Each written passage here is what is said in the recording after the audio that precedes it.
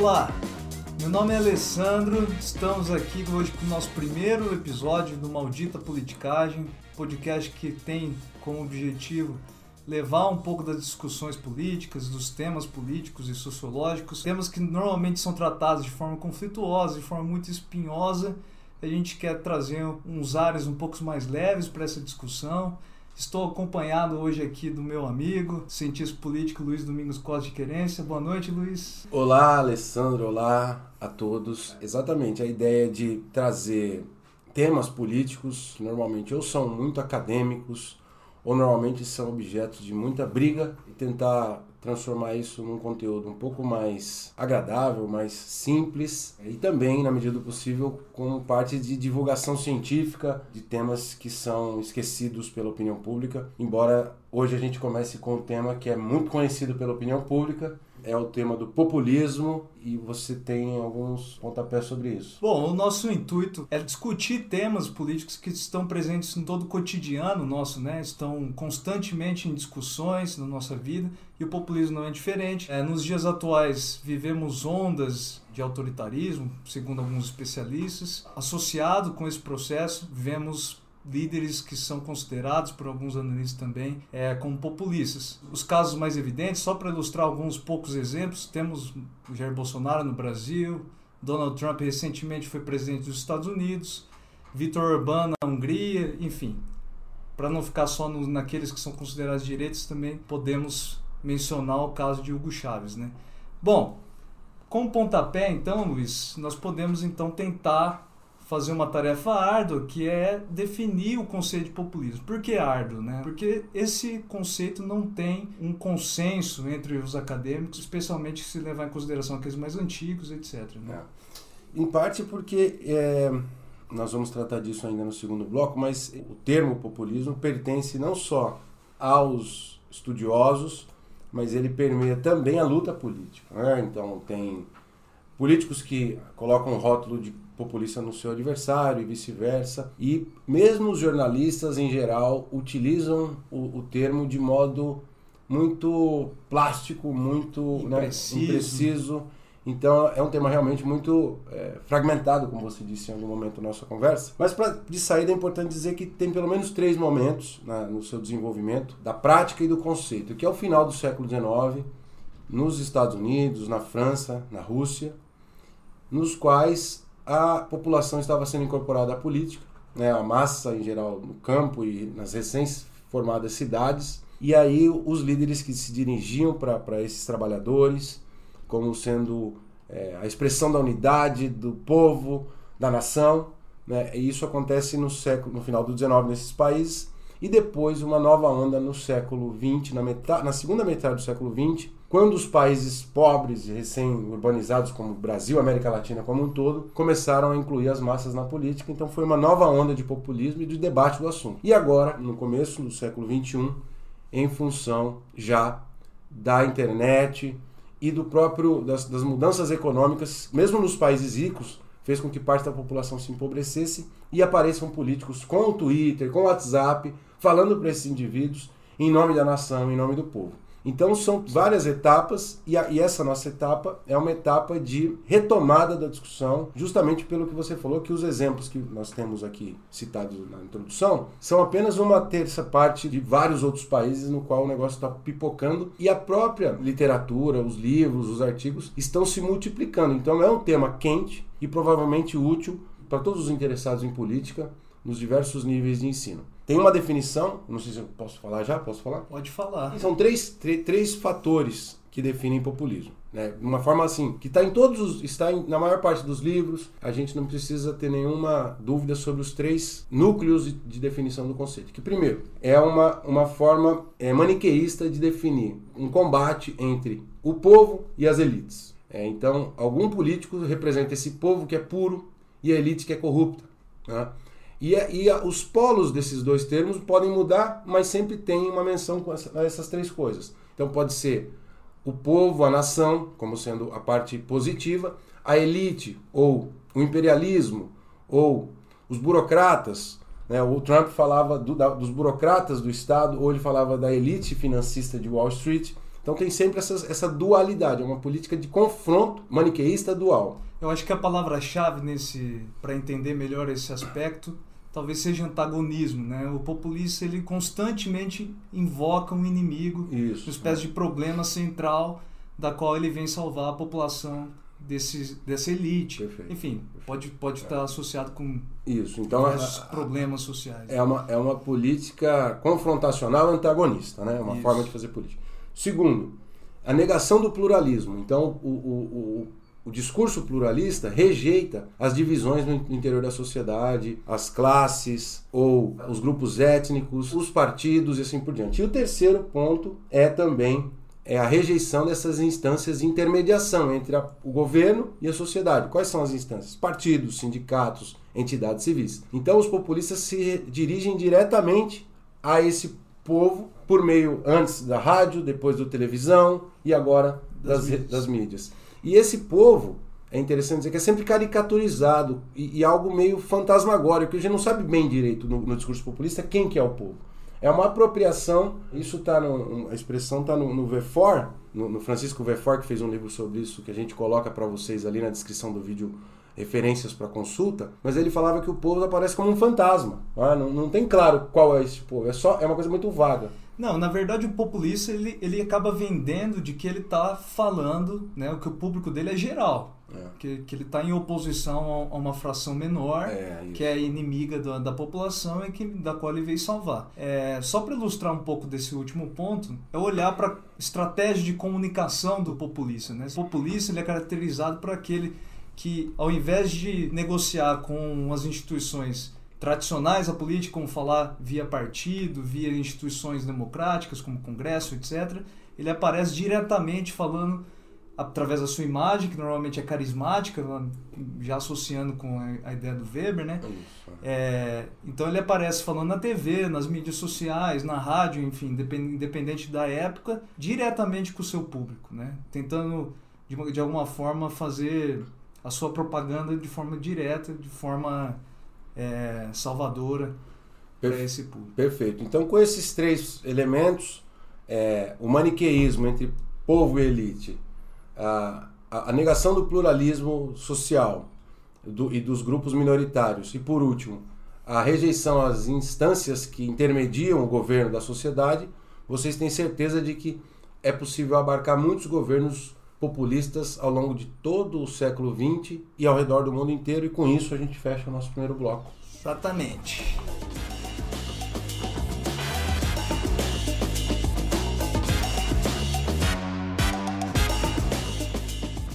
Definidos então, né, Luiz, o conceito de, de populismo, é importante a gente tocar em alguns assuntos. Bom, primeiro, como que o populismo aparece frequentemente como forma pejorativa de, de chamar os políticos, né? Especialmente quando discutimos pautas ou políticas sociais, é muito frequente ouvir do mundo econômico de que políticas sociais é uma política populista como algo negativo. Tocando já, dando continuidade nesse assunto, eu acho que é inevitável a gente tocar num, assunto mais delicado, que é falar sobre o governo Lula e o governo Bolsonaro, que são os dois expoentes da política brasileira, que acaba sendo a imagem do que, do que são os polos políticos brasileiros. É, você acha que é possível atribuir um rótulo de populista a algum desses presidentes? É, eu acho que muito em função de um uso um pouco esgarçado, muito recorrente e eventualmente forçado, os dois nesse, col- colocados como polos simétricos, como se estivessem na mesma posição de radicalismo, cola muito a imagem de populista nos dois, tanto no Lula quanto no Bolsonaro, mas se a gente seguir à risca os critérios apresentados na, no- na primeira parte, as coisas não são bem assim. Vou falar do Lula primeiro.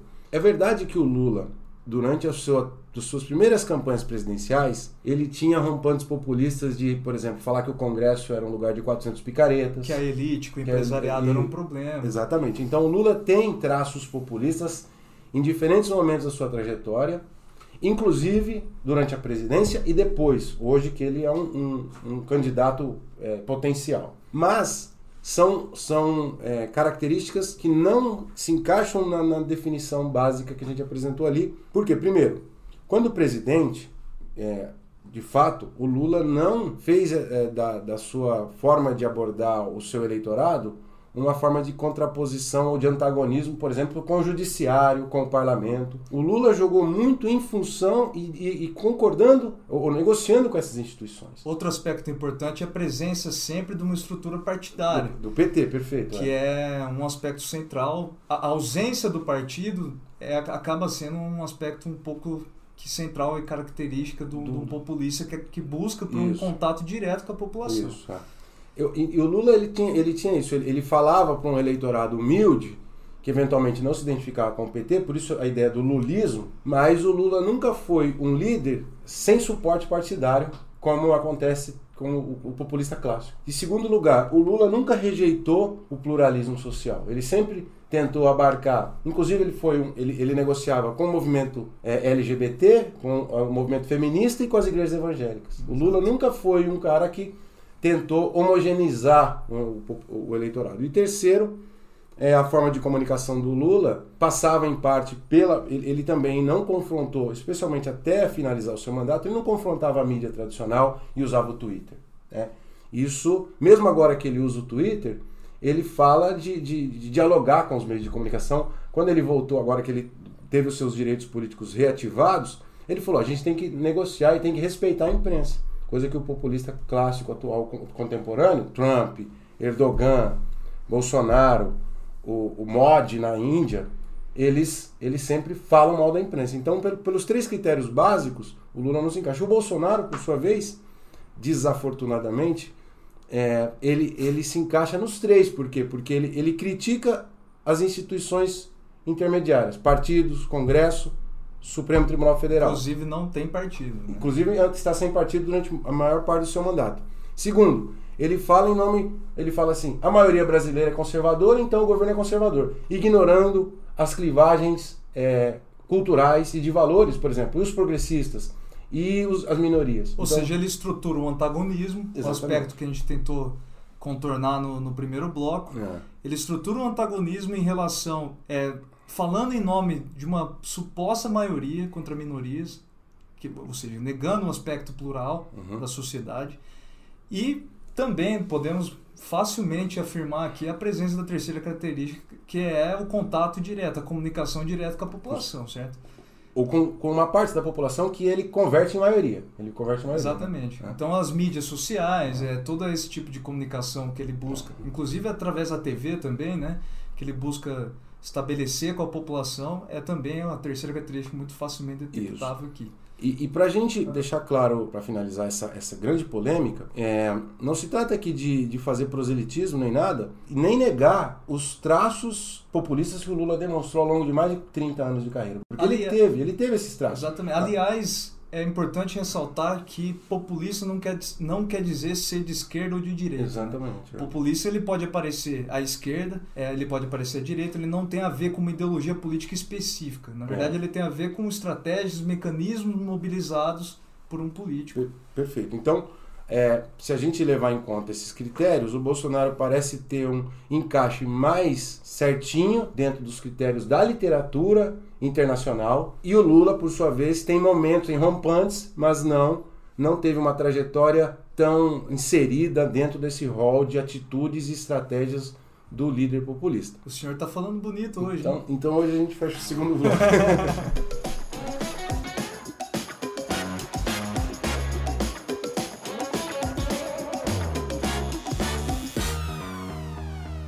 Então, chegando ao terceiro e último bloco desse episódio sobre populismo, uma pergunta fatal é se, afinal de contas, o populismo é ou não é uma maldição da política em geral ou da política democrática? O que você diz pra gente? Então, trazendo o tema do nosso podcast, né, se isso é uma maldita politicagem ou não, eu acho que o populismo em si, ele não deve ser visto com, com o rótulo de ser bom ou ruim, porque na verdade ele é associado com a imagem de uma pessoa. Isso, se o bom e o ruim, vai estar na cabeça do nosso ouvinte aí, eles que se decidam sobre esses dois lados. O populismo, ele, ele acaba sendo um tipo de estratégia onde o político ele dribla as instituições de controle que da, da, da democracia, enfim, ele acaba driblando os mecanismos tradicionais da política. O que, que eu quero dizer com driblando? Como a gente fala, por exemplo, o partido, quando o político tem relação com o partido de uma forma mais estreita do que o populismo costuma ter, o partido costuma né, controlar de alguma forma as atuações políticas daquele cidadão, daquele presidente, daquele prefeito, enfim, seja lá qual for o nível do político. É, quando o político adota a estratégia populista, ele acaba se comunicando diretamente com a população, que acaba sendo um drible, acaba sendo um desvio dos mecanismos de controle da, da democracia. Eu, eu entendo dessa forma. Mas, só uma coisa, o, o, o populismo levado às suas últimas consequências, é, ao deslegitimar as instâncias de controle, ele pode levar aquilo, a expressão que, que você tirou de alguma literatura, que é a ideia da tirania da maioria, né? Isso, ditadura da maioria, porque acaba tendo uma relação lógica com, com as características básicas, que é aquela coisa do antagonismo, aquilo que a gente vem afirmando né, no é. bloco, primeiro bloco no segundo bloco. Né? Mas é, oferece um, no, nesse limite um risco para a democracia, na, no sentido de que ela, a tirania ou a ditadura da maioria, aniquila a igualdade política ou algumas liberdades. Então, acaba excluindo um, é. fragmentos da nossa sociedade Isso, civil. Né? E, e aí o, o, a gente tem uma história ilustrativa que que você ficou mencionando a partir de experiências pessoais. E eu também lembrei dessa figura. Que a gente, no, num ambiente de trabalho, em instituições, em organizações, em empresas, o que for, qualquer coisa, a gente vê essa figura do populista aparecer. Claro, sem a, a centralidade de um presidente de uma, da república, mas é aquele cara. Até as, pode ser o nosso Bill, o nosso, nosso Bill. o Bill que vai ser o personagem sempre que a gente vai utilizar, que é o nosso é, diretor é, de arte, o nome dele a gente está utilizando, mas a figura é uma figura fictícia que, que a gente já viu. Mesmo nas instituições de ensino existe um aluno populista, na empresa existe um colega populista, que é aquele cara que, é, desconfiando, deslegitimando as regras, os, as instâncias da organização, os professores, ele quer angariar apoio dos seus colegas, falando que aquilo está errado, que aquilo é para prejudicar a gente. Então essa oposição, aquele malandrão que sempre quer é, se dar bem. Na verdade, ele quer, em, no, em nome dos colegas, em nome desse grupo que ele está ganhando apoio, no fundo, na verdade, ele quer se dar bem, fustigando, enfraquecendo as instâncias da instituição. Ou seja, tirando, né, tirando a rigidez do conceito acadêmico, é. para a gente trazer para exemplos práticos para você é. que está ouvindo memorizar isso de alguma forma, uhum.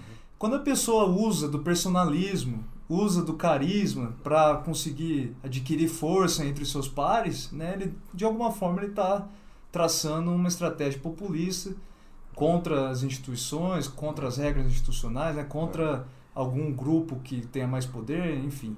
Uma estratégia é. personalista, uma estratégia populista. e pode chegar nas vias dos altos escalões de poder, nos quais se cria frases de impacto gigante, como por exemplo, o Supremo é o povo. É? O Supremo é o povo. Então, com isso, a gente encerra o primeiro episódio. É, lembrando que tem na descrição desse, desse conteúdo algumas referências para você consultar, aprofundar os estudos, não deixar de ler é, e, e estudar em casa, além de escutar os conteúdos que a gente tem nas mídias e nas plataformas digitais. É importante também ler e tomar para si esses temas como sendo temas de aprofundamento. E agradecer a sua audiência e se você gostou que você ajude a compartilhar e esperando que você apareça na próxima semana com mais maldita politicagem. Boa noite, pessoal. Boa tarde, bom dia, né? É, tome cuidado com o Bill presente no cotidiano de vocês. É isso. É isso aí. Um abração. O Maldita Politicagem tem produção e roteiro de Luiz Domingos Costa e Alessandro Tokumoto, design e edição de áudio de Fábio Tokumoto.